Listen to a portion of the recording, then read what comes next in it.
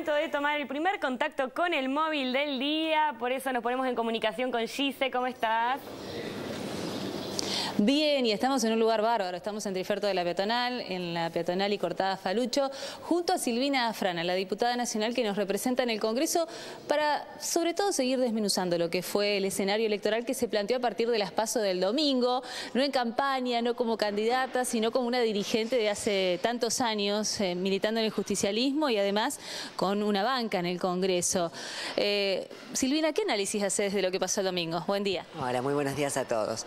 Bueno, una análisis que creo que mm, mostró una foto donde claramente el país este, en general, bueno, y nuestra provincia en particular, está muy, muy dividida la mirada de la gente sobre la política.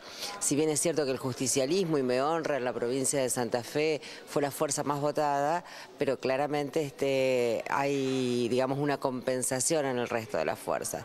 Con lo cual nos obliga a todos este, a repensar, a repensar el futuro. ¿Por qué digo esto? Porque todos desde nuestro lugar, desde nuestras convicciones, hoy hay que entender nuevas realidades, nuevas situaciones y con propuestas concretas y con convicciones de trabajo.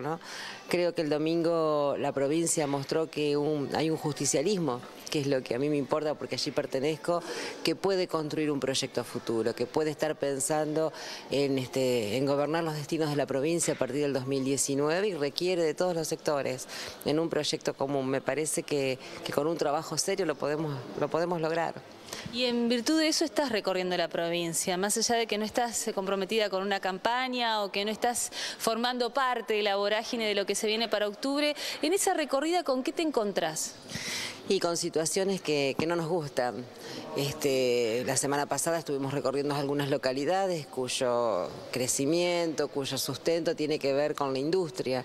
Por ejemplo, la localidad de Cebal, que depende exclusivamente de la industria del zapato. La verdad que en una situación más que preocupante, porque la apertura de las importaciones, el aumento de las tarifas, los créditos caros, hace que todo lo que sea actividad industrial de pequeñas y medianas empresas se vea este, fuertemente afectada. Por eso lo vemos en una situación concreta. En el sur provincial, este, en lo que va de este último año, cerraron 72 pymes y eso es desempleo, es menor consumo, es baja de la actividad económica. Entonces, este, más que preocupada por la situación. Ayer me pasaban un análisis económico muy serio que se hace acá en, la ciudad, en un grupo de la ciudad de Santa Fe, que hablaba de una baja del 8% del consumo, que hablaba de esto, de las 72 pymes que cerraron, del déficit comercial producto de esas importaciones que compiten con nuestra industria nacional, que nuestra industria nacional no puede competir con ella. Entonces me parece que hay que repensar la economía.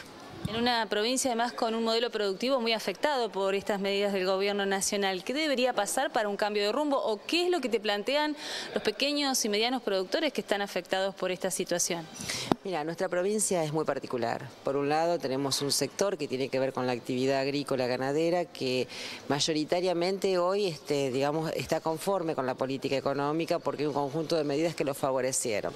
Pero el sector industrial que por qué nos interesa, porque es el sector que mayor cantidad de mano de obra capta, o sea que genera empleo y que produce cosas que hoy se importan, está, digamos, en un momento muy crítico, en un momento, yo decía al principio, cuando nos enteramos de estas medidas económicas, decían que estas medidas eran letales para la pequeña y mediana empresa.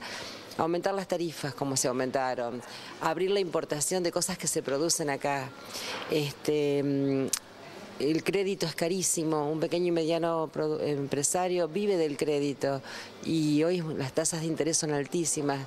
esas tres cosas te llevan a cerrar. Yo creo que hay que revisar esta apertura de las importaciones. Mira, cuando vos cerrás una pequeña y mediana empresa, no solamente cerrás esa empresa, afectás a un conjunto de empresas que están a su alrededor. Los otros días cuando veíamos la industria del zapato, veíamos este, empresarios, pequeños empresarios, que durante todo un tiempo habían invertido, habían comprado maquinarias, habían reconvertido su proceso productivo y eso genera este, la compra de, de los artículos para hacer el zapato, genera gente que se formó para el diseño, para nuevos diseños, para nuevos emprendimientos. Hay tanta cosa alrededor que se afecta que francamente nos preocupa y mucho. Y no es el único tema que te preocupa. Estás planteando la necesidad de que se determine una emergencia en adicciones en el país, un proyecto que lo lleva hasta el Congreso. ¿En qué instancia se encuentra y por qué eh, o cuál es el fundamento de esta iniciativa? Bueno, el año pasado, ya por el mes de noviembre, lo que se denominan curas villeros hicieron una declaración pública pidiendo la emergencia en adicciones. En ese momento el presidente de la Nación emitió un decreto como adhiriendo a esa emergencia, pero ese decreto no tiene lo que es fundamental, que es decir, cómo se, financia esa emergencia. Este, incluso nosotros nos reunimos con todo este sector de pastoral social, este, grupos evangélicos y otros sectores que trabajan la problemática de adicciones y nos decían que era fundamental tener la ley, que con el decreto del presidente no bastaba. Presentamos un proyecto en este sentido, se debatió en la Comisión de Adicciones del Congreso Nacional, salió un dictamen, hoy está en la Comisión de Salud y debería pasar a la Comisión de Presupuesto. Nosotros estamos pidiendo agilidad en esto. ¿Y cuál es el centro de problema? Como en casi todos los debates, tienen que ver cómo se financia. Nosotros estamos proponiendo que se financia con un, este, con un impuesto a algunas importaciones que están afectando economías regionales. Estamos planteando que se financie con dejar de eximir las ganancias de la renta financiera que tiene que ver hoy lo que se gana por acciones y por bonos está eximido de pagar ganancias. Pretendemos, bueno, que se revise esa situación y también pretendemos que se cree ese fondo especial con todos estos nuevos recursos. Hay algunos legisladores, sobre todo de provincia de Buenos Aires, que plantean un impuesto a la publicidad de las bebidas alcohólicas, de la cerveza, que afectaría mucho a nuestra industria local. Hoy, hoy el centro de la discusión es esa, cómo se financia en esa emergencia. Pero creo que no podemos demorar más, porque la emergencia existe, porque la problemática es creciente y porque nosotros como representantes tenemos que tener el compromiso de, de generar herramientas para que desde la nación y las provincias se empiece a trabajar sobre este tema. Una vez que la adicción este, se transforma en un problema grave en una persona, es muy difícil revertirlo, pero hay muchas herramientas para prevenir y me parece que en eso hay que prestar mayor atención y generar esos recursos. En virtud de lo que se viene para octubre, ¿cómo ves eh, la agenda del Congreso de la Nación? ¿Crees que va a ser posible avanzar en este tema o en cualquier otro? ¿O la discusión política va a estar o va a ser el centro de la escena? Mira, yo hoy tengo un gran reclamo al presidente de la Nación, a Mauricio Macri, porque tiene prácticamente cerrado el Congreso. Este nos está habilitando a que el oficialismo convoque, a que el oficialismo reúna, este, a debatir los grandes temas.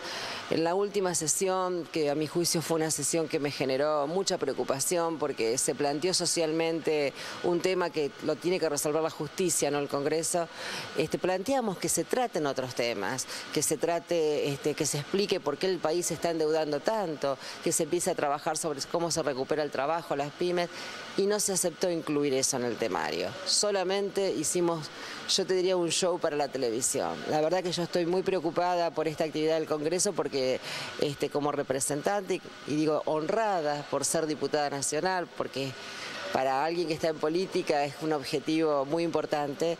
Que hoy no podamos estar debatiendo los grandes temas de la gente, sinceramente me preocupa y creo que el presidente debe empezar a, revertir esta situación. Silvina, gracias. Acá octubre seguramente vamos a seguir hablando. No, por supuesto, muchas gracias a ustedes. Bueno, el café de la mañana, en este caso con Silvina Frana, diputada nacional que representa a los santafesinos en el Congreso de la Nación. Pili, volvemos en un ratito. Dale, Gis, en un ratito nos reencontramos. Gracias. Nosotros seguimos en Santa Fe Directo.